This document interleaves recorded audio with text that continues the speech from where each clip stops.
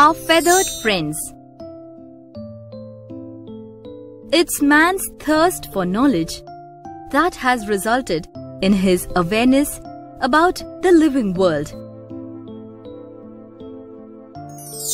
Wings The bird's ability to fly gives it an edge over other animals.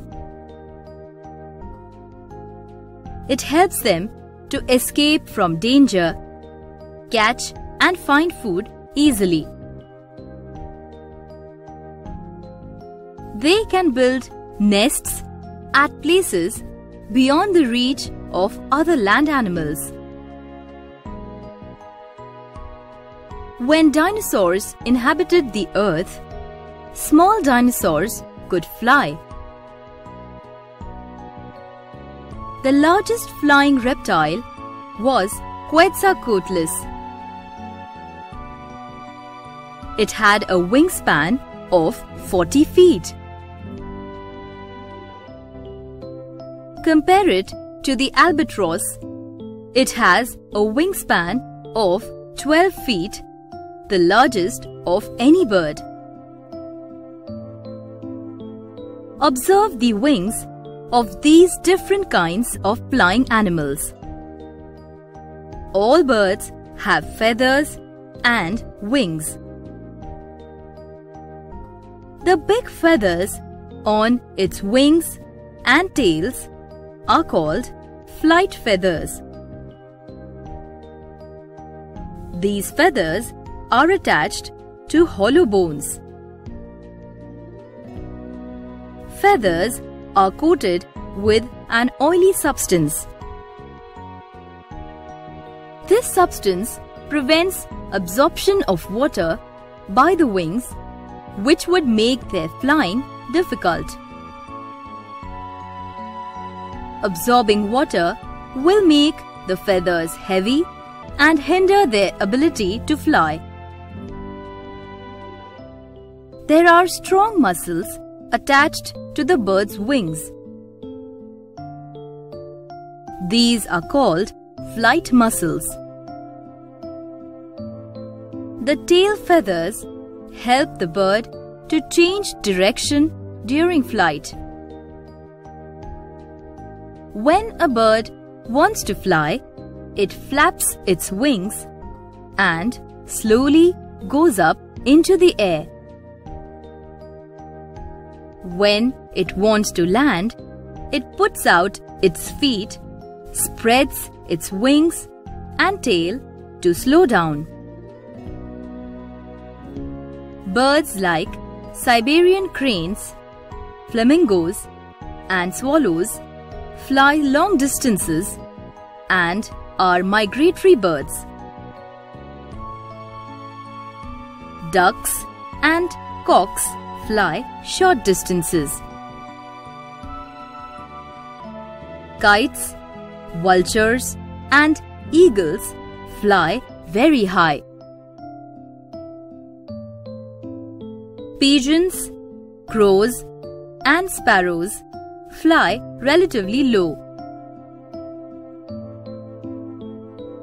Beak Birds have no teeth. They do not chew their food. The food they eat goes to the stomach. The strong muscles of the stomach grind the food. Different kinds of birds have different types of beaks. A bird's beak tells us what type of food it eats. You have learned about birds' beaks and their feeding habits.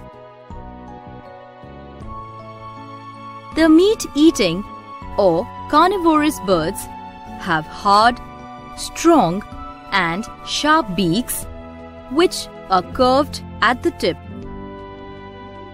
They use their beaks to tear the flesh. Herbivorous birds which feed on grains, have short, strong, cone-shaped beaks to pick up grains. The duck, an omnivore, has a long, flat beak. It uses its beak to eat small insects, fish, and plants in the water. It uses its beak as a strainer. Unique beaks A pelican has a huge beak. It uses its beak to scoop out fish from water. Its beak is bigger than its stomach. The Australian pelican has the largest beak in the bird kingdom. Its beak is about 50 centimeters long. The kingfisher's beak is like a dagger. It catches fish by diving into water. Although ducks, pelicans, and kingfishers feed on fish, all three have different kinds of beaks. They live near water. A bird's beak is extremely sensitive to touch. Birds that probe in the ground for food have extrasensory organs at the tip of the beak. All chicks have an egg tooth on their beaks. They use that to crack open the egg from inside. Feet Different birds have different types of feet. But none of them have more than four toes. Some have three and the ostrich has only two toes. The four-toed birds have different arrangements of toes. In swifts, all four point forward. Most perching birds have three toes pointing in front and one at the back. Parrots have two toes pointing in front and two at the back. Carnivorous birds have strong, sharp and curved claws which helps them to hold their prey firmly while flying. All water birds have webbed feet which makes them efficient paddlers. Our feathered friends Nests Our homes are, in a way, are nests. The dictionary defines a nest as a place where a bird can safely rest and raise its young. All birds lay eggs and most build nests where they can raise their chicks and shelter them from any harm.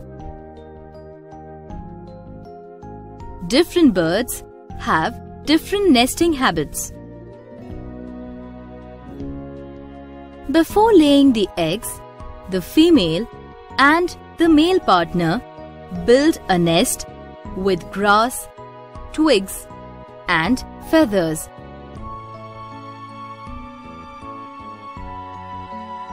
The nests are usually comfortable as they are lined with grass, moss leaves or feathers. Have you ever seen any bird build its nest? Especially during the spring season? Watch a sparrow when it is trying to build its nest. See with what care it brings pieces of dry grass, leaves and threads to build the nest. It spends the whole day flying to and fro with pieces of things it finds in its beak. the crow makes a very untidy nest. It uses pieces of cloth, string and small pieces of sticks. Pigeons and sparrows build their nests with twigs. They generally build their nests in houses, mostly on ledges on the sides of buildings. Eagles and kites build nests on very tall trees or cliffs because they fly very high. Care of the young After laying the eggs, the bird sits on the eggs to keep them warm.